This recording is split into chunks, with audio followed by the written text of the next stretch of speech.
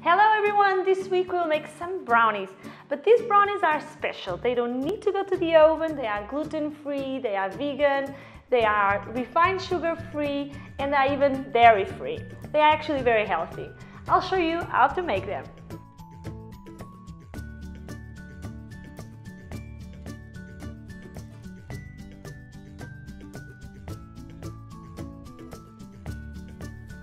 For this recipe we will need 30 gram ground almonds, 260 gram stone dates, 1 tablespoon water, 2 carrots, 60 gram ground pistachios and 60 gram cocoa powder.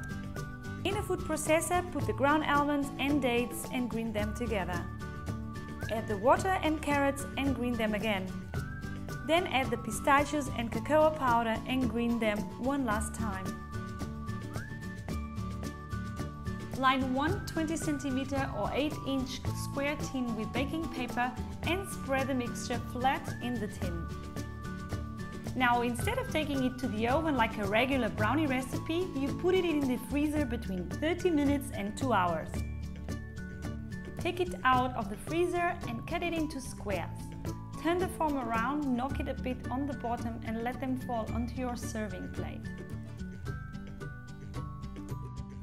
Now cut them again if necessary and decorate them as you wish. I have sieved some cocoa powder over them and placed some chopped strawberries in the middle of each brownie.